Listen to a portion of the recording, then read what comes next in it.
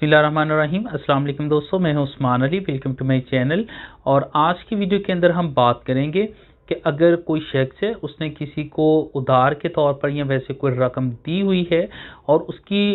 Recovery के लिए किस तरह से जो है वो एक समरी ट्रायल जो है वो इमीडिएटली जो है वो इन शॉर्ट टाइम के अंदर अपनी रकम जो है वो अदालत के थ्रू किस तरह से रिकवर कर सकता है। तो मौजू की तरफ़ जाने से पहले सब दोस्तों से गुजारिश है कि अगर आपने अभी तक हमारे यूट्यूब चैनल को सब्सक्राइब नहीं किया है तो वीडियो के नीचे एक रेड कलर का सब्सक्राइब का बटन आ रहा होगा, उसके ऊपर क्लिक करके सब्सक्राइब कर लीजिएगा और साथ बेलाइकन को भी दबा दीजिएगा ताकि जब भी हमारी कोई लेटेस्ट वीडियो आए तो उसके नोटिफिकेशन आप तक पहुँचते रहें।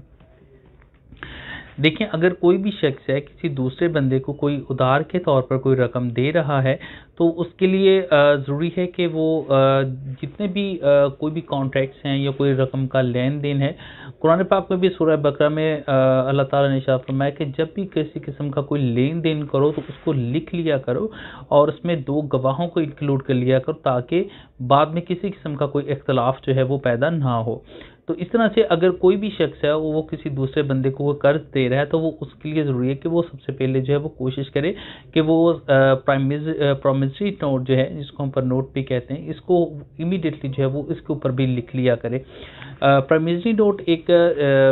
इसकी स्पेसिमन होता है जिसके अंदर आपकी कर्ज देने वाले की तमाम इन्फॉर्मेशन मौजूद होती है और इसके अलावा जो लेने वाला है, उसकी तमाम इन्फॉर्मेशन मौजूद होती है। टाइम पीरियड का ड्यूरेशन का तमाम का ज़िक्र मौजूद होता है और इसके अलावा इसके ऊपर तमाम सिग्नेचर होने के बाद एक रसीदी टिकटें लगती हैं, जिसके ऊपर भी तमाम जो कर्ज ले रहा है, उसके ऊपर भी तमाम उसके सिग्नेचर्स वगैरह और थम ऑपरेशन जो है वो लिए जाते हैं ताकि इन फ्यूचर जो है वो अगर वो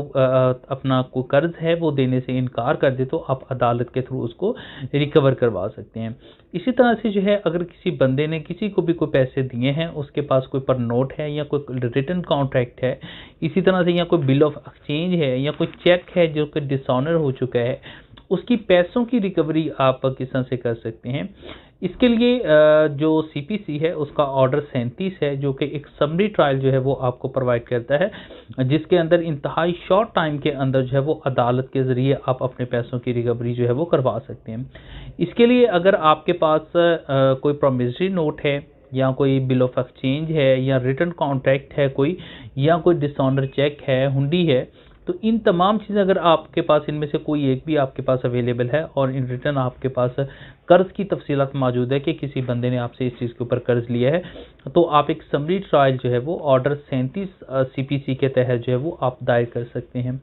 जैसे ही आप इसको अदालत के अंदर दायर करेंगे तो अदालत इंस्टीट्यूशन जब आप केस दायर कर देंगे तो आप अदालत इसके ऊपर जो है वो फॉर्म फोर के ऊपर एक नोटिस जो है वो रिस्पॉन्डेंट को जारी करेगी और विद इन टेन डेज़ के अंदर जो है वो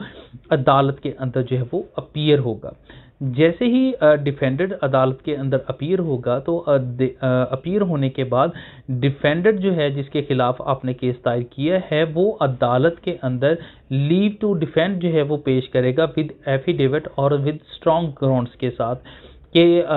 एक स्ट्रॉन्ग ग्राउंड के साथ के उस वो इस केस को फर्दर कंटेस्ट करना चाहता है और उसके अपना मौकफ जो है वो बयान करना चाहता है। अगर कोई रीज़नेबल स्ट्रॉन्ग उसके पास कोई ग्राउंड्स मौजूद है तो अदालत उसको जो है वो लीव टू डिफेंड जो है वो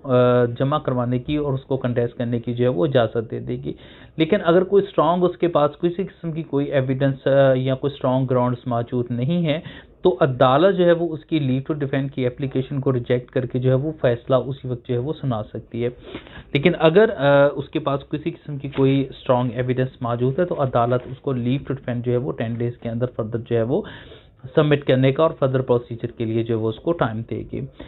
इसके अलावा अगर कोई